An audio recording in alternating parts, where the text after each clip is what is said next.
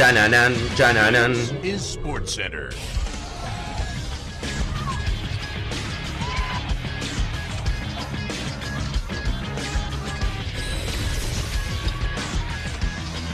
Hola gente, ¿cómo andan? Un saludo grande para todos, yo soy Sanio y les traigo un nuevo video. En el día de hoy una segunda edición de lo que fue el clan. La semana pasada hablamos acerca del clan Traoré, le gustó, dejaron muchísimas sugerencias en los comentarios y en el día de hoy, en este segundo episodio, vamos a hablar acerca del clan Dembélé. ¿Cómo es la temática y la dinámica? Muy sencilla. Repasamos todos los jugadores, o en realidad prácticamente los más importantes, tanto retirados como actuales, que comparten justamente ese apellido sin ser familia.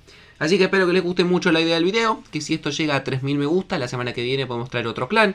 Vi muchos sugiriendo Mendy, De Jong, Hernández, entre otros, así que dejen en los comentarios y el que vea que más se repita seguramente lo hagamos. Que me sigan en las redes sociales y se suscriban al canal activando la campanita y también al de tenis, que lo tienen en la descripción y estoy subiendo videos bastante seguidos. Y que ahora sí, arrancamos con el video del clan de. En cuanto a lo que es el apellido de Dembélé, es un apellido muy común en distintos sectores de África. Principalmente en Mali, lo mismo por ejemplo que habíamos hablado del caso de Traoré, en Burkina Faso y en Costa de Marfil, son apellidos que tienen orígenes bastante similares y también es un apellido que se repite bastante por una cuestión de lo que fue la historia, las colonias y demás, tanto en Francia como también en España. Hoy en día si lo buscamos en Transfer Market hay 50 resultados posibles acerca de jugadores y exjugadores que comparten este apellido. Sin duda el máximo representante de lo que ha sido el clan de Dembélé, tanto en la actualidad como en la historia, es Ousmane Dembélé. Futbolista con pasado en el Stade de Rennes, que es francés, pero tiene justamente orígenes en un país africano que es Mauritania, que como les decía arrancó su carrera en el Stade de Rennes, que destacó muchísimo en el Borussia Dortmund, en el fútbol alemán, y que hace varias temporadas que juega en el Barcelona, sin duda uno de los mejores equipos del mundo, y que además con la selección francesa ha jugado 27 partidos, ha marcado 4 goles y ya se ha consagrado campeón del mundo. Sin duda, como les digo, el máximo representante de este clan de Dembélé. Pero no es el único. Por ejemplo, otro jugador bastante reconocido que comparte el apellido sin ser familia de Dembélé es el caso de Musa Dembélé. En este caso Musa se escribe con doble S. Se los aclaro porque como vamos a ver más adelante hay otro jugador también que se dice exactamente igual pero que se escribe con una S menos. Musa Dembélé también es un futbolista francés delantero que tiene orígenes en Mali. Como les dije, Mali posiblemente es el país donde haya mayor cantidad de personas, no simplemente deportistas y jugadores con el apellido de Dembélé, que jugó en el Fulham, en el fútbol inglés, que pasó por el Celtic en el fútbol escocés, que jugó en el Olympique de Lyon, donde llegó a destacar bastante en la Ligue 1, que hace muy poco tuvo un paso a préstamo por el Atlético de Madrid, que muchos deben recordar, lamentablemente no fue bueno, apenas jugó 7 partidos, y que actualmente volvió al Lyon para jugar nuevamente en el fútbol francés. Además, ha sido internacional varias veces con la selección francesa, 25 en total, marcando 13 goles, realmente un muy buen promedio, y sin duda el segundo en cuanto a actualidad de los representantes de Dembélé.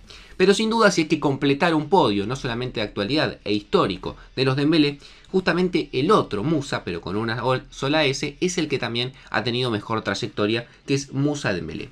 En este caso es un futbolista belga que ha representado los colores de esa selección, pero que también, al igual que el otro Musa Dembélé, tiene orígenes en Mali.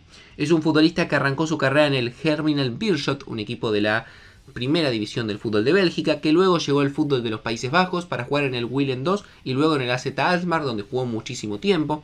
Luego llegó a la Premier para tener suerte en el Fulham y después llegó al Tottenham donde llegó a jugar inclusive más de 250 partidos. Actualmente hace un par de temporadas que juega en el Guangzhou City y ya ha anunciado que a partir del año 2023 va a finalizar su carrera porque se va a retirar. Es un jugador que ha sido internacional con Bélgica en 82 ocasiones y ha marcado 5 goles y sin duda si hablamos de historia en general, estos tres que les mencioné primero son los más destacados del clan de Dembélé. Pero no son los únicos, también tenemos jugadores actuales que juegan en equipos reconocidos. Por ejemplo, uno de los casos es el de Siriki Dembélé. Siriki Dembélé es un extremo izquierdo de 25 años que es escocés, representa esos colores, pero tiene orígenes en Costa de Marfil. Como les mencionaba, Costa de Marfil es otro de los países colonizados en su momento por eh, países europeos que también ha tenido varios de los representantes de Dembélé, que jugó, esta es una historia particular que quizás en algún momento la toquemos en otro video, en la Nike Academy, una academia que había fundado Nike, que tuvo 50 jugadores, que solamente estuvo durante una temporada, que sacó un par de jugadores conocidos, dentro de ellos por ejemplo Siriki Dembélé, que después jugó también en otros equipos del ascenso inglés, en el Peterborough, y a partir de esta temporada fichó por el Bournemouth, equipo que recordemos hace un par de temporadas estaba en la Premier League y actualmente juega en Championship. Otro jugador también muy reconocido, creo yo, que es una promesa, que quizás hoy en día no atraviesa su mejor momento, es Karamoko Dembélé. Creo que muchos lo deben conocer. En este caso es un futbolista inglés con orígenes escoceses, pero obviamente también en lo que ha sido su linaje tiene raíces africanas. Es un extremo derecho de 19 años que hace dos temporadas se hablaba como una de las grandes promesas del fútbol inglés porque representa esos colores, que juega en el Celtic hace bastante tiempo, pero que lamentablemente no ha tenido mucha continuidad. Ha jugado solamente 8 partidos en toda su historia en el fútbol escocés y ha marcado solamente un gol. Todavía joven, tiene 19 años, pero ya a los 16-17 pintaba para mucho más de lo que actualmente está haciendo. Después hay otros jugadores quizás menos reconocidos, pero que han tenido también su trayectoria, como el caso de Mamadou Dembélé, que es un defensor central de 22 años, que es francés, pero que tiene raíces en Mali, que es surgido de la Academia del Paris Saint-Germain, pero no llega a debutar allí, se va libre al Red Bull Salzburgo del fútbol de Austria, donde estuvo un par de temporadas, luego volvió al fútbol francés para jugar en el Troyes y hace dos temporadas que lo vienen prestando al Pau FC, que es un equipo de la Ligue 2, que es la segunda división del fútbol francés. También tenemos, por ejemplo, el caso de Malali Dembélé. En este caso, un delantero centro de 24 años que representa los colores de Francia, pero que también tiene orígenes en Mali, que ha jugado en el AS Nancy del fútbol francés y actualmente juega en el Rhodes también de la segunda división de ese país. Tenemos también el caso de Mana Dembélé, que es un delantero centro de 33 años, un poco más grande respecto al resto, que a diferencia del resto de los que vengo mencionando, él nació en Francia pero representa los colores de Mali, que jugó en el Clermont Foot, un equipo también del fútbol francés, en el EA Gigamp, en el Nancy, en el Le Havre y que actualmente juega en el Racing Luxemburgo, que es uno de los equipos más importantes de la liga de ese país. Es además un jugador que ha sido internacional con la selección de Mali, jugando nueve partidos pero no logrando marcar ningún gol. También tenemos el caso de Vira Dembélé, que es un defensor central de 33 años, que representa los colores de Francia, pero también nació en Mali, que ha jugado por ejemplo en el Stade de Rennes, en el Red Star del fútbol de Francia, y actualmente su último equipo fue el Stade Lavajois del fútbol francés, y actualmente no tiene equipo.